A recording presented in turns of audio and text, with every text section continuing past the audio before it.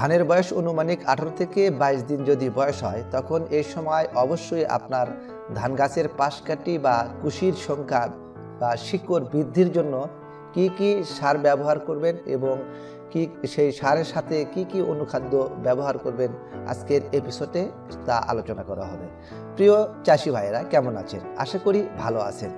কৃষিচিত্র BD YouTube চ্যানেলের আরও একটি নতুন এপিসোডে আপনাকে স্বাগত।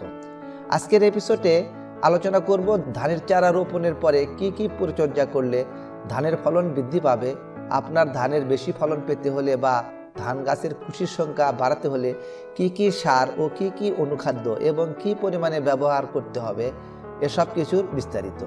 তো তার আগে ছোট্ট একটা রিকোয়েস্ট এখনও আপনারা যারা আমাদের এই চ্যানেলটি সাবস্ক্রাইব করেননি, অবশ্যই চ্যানেলটিকে সাবস্ক্রাইব করে আমাদের এই ছোট্ট পরিবারের সদস্য হন এবং পাশে থাকা বেল আইকনটি ক্লিক করে রাখুন যাতে কৃষি বিষয়ক যে কোনো ভিডিও আপলোড করার সাথে সাথে আপনার নিকট নোটিফিকেশন পৌঁছে যায়। আর অলরেডি আপনারা যারা সাবস্ক্রাইব করেছেন, তাদেরকে জানাই অসংখ্য অসংখ্য ধন্যবাদ। তো চলুন শুরু করি। প্রিয় চাষি ভাইয়েরা, যখন আমাদের ধান রোপণ হয়ে যাবে ধানের বয়স যখন আঠারো থেকে বিশ দিন এই সময় একটা গুরুত্বপূর্ণ পরিচর্যা আছে। আর এই পরিচর্যাটা যদি আপনি সঠিক নিয়মে করতে পারেন, তাহলে ধানের কুশিগুলোর সংখ্যা বৃদ্ধি পাবে এবং ধানের কার্যকরী কুশির সংখ্যা বাড়বে এবং ফলশ্রুতিতে ধানের ফলন বেশি হবে। ধানের পাশকাঠি বা কুশির সংখ্যা বাড়ানোর জন্য ইউরিয়া, টিএসপি, পটাশ সার প্রয়োগ করুন। এবং সাথে অন্যান্য অনুখাদ্য যেমন পিজিআর গ্রুপের ঔষধগুলো ব্যবহার করার পর আপনি শিকড় বৃদ্ধি করার জন্য এনার্জেটিক্স থিওভিক কোমোলাক্স এগুলো সালফার জাতীয় ঔষধ এগুলো ব্যবহার করুন। এগুলো ব্যবহার করলে কি হয় তা আমি বলছি। কিন্তু ব্যবহার করার বা ক্ষতি হওয়ার পূর্বে ধানের লক্ষণ, ধানের জমিতে কি কি দেখা যায় তা এখন আমি বলি। এক নম্বর হলো, ধানের গাছের কচি পাতার কিনারা হলুদ হয়ে যায় এবং কি কুচকে যায়। অর্থাৎ গাছ ছোট, বড় হয়ে যাবে। এভাবে আর কি দেখা যায়, গাছ খাদ্য গ্রহণ ক্ষমতা বৃদ্ধি কম হয় এবং অন্যান্য সার যে দিচ্ছেন, সারের গ্রহণ ক্ষমতা বৃদ্ধি কমে যাবে। পাশাপাশি আমি যেটা বলি যে, ব্যবহার করলে আপনাদের কি হবে? চলুন জেনে নেওয়া যাক। আপনারা অবশ্যই ব্যবহার করলে আপনারা যে ফলগুলো পাবেন, তার মধ্যে একে, এক নাম্বার, মাকড়ের আক্রমণ থেকে ফসল রক্ষা পাবে। ক্লোরোফিল তৈরি করতে সাহায্য করবে, গাছের সবুজ অংশ দ্রুতভাবে বৃদ্ধি পাবে, ধান গাছ ঘন সবুজ হবে, যেমন কালো কুচকুচে হয়ে যাবে। অ্যামাইনো অ্যাসিড সিস্টেম মেথাল প্রোটিন, ভিটামিন ও এনজাইম তৈরি করতে সহায়তা করবে, গাছের মূল বৃদ্ধি ত্বরান্বিত করবে এবং অন্যান্য সারের গ্রহণ ক্ষমতা বৃদ্ধি করবে। দেখা যাচ্ছে যে আপনারা যে সারটি দিচ্ছেন, ইউরিয়া, পটাশ বা অন্যান্য সারগুলো গ্রহণ ক্ষমতা বৃদ্ধি করে, আর যদি আমাদের ধানের বা ধান গাছের অনুখাদ্য প্রয়োগের ইচ্ছা করে, তাহলে আমরা অনুখাদ্যগুলো সময় মতো ব্যবহার করব।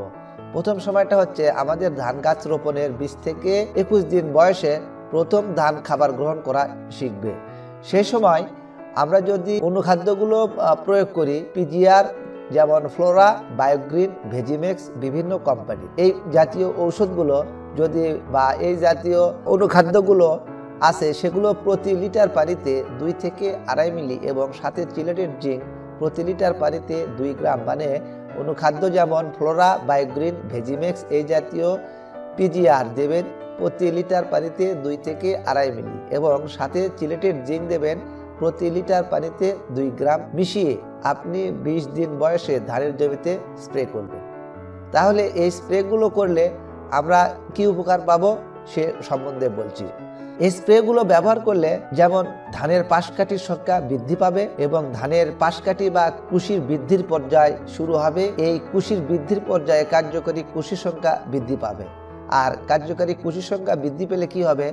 কার্যকরী কুশি সংখ্যা বৃদ্ধি পেলে আমাদের ধানের ফলন বেশি হবে। আর আরেকটি পর্যায়ে আমরা এই কোন, এই অনুখাদ্যগুলো ব্যবহার করতে পারি।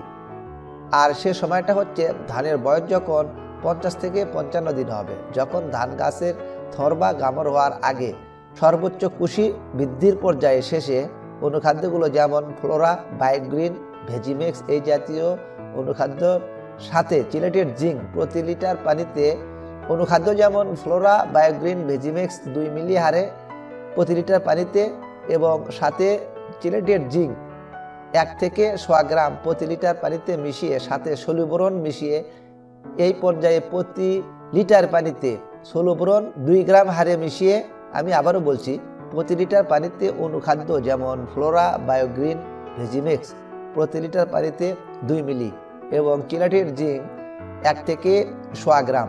আর সাথে ষোলোবার ব্রণ প্রতি লিটার পানিতে দুই গ্রাম হারে এই তিনটি উপাদান একসাথে মিশিয়ে আপনি যদি ধান গাছের বয়স যখন পঞ্চাশ থেকে পঞ্চান্ন দিন বয়স হবে, এ সময় স্প্রে করতে পারেন। পরবর্তীতে যে শীষগুলো বের হবে, সেগুলো হবে সুস্থ সবল, এছাড়াও লম্বা এবং বড় হবে এবং ধানের গাঁথনি ভালো হবে এবং ধানের রং উজ্জ্বল ও চকচকে হবে এবং ওজনও বেশি হবে। সর্বোপরি ধানের ফলন বেশি হবে। প্রিয় চাষি ভাইরা এই দুটি পর্যায়ে যদি আমরা ধানের অনুখাদ্য ব্যবহার করতে পারি, তাহলে আমাদের ধান গাছের পাশ কাঠি যেমন কুশির সংখ্যা বৃদ্ধি পাবে, তেমনি আমাদের ধানের ফলনও ভালো হবে।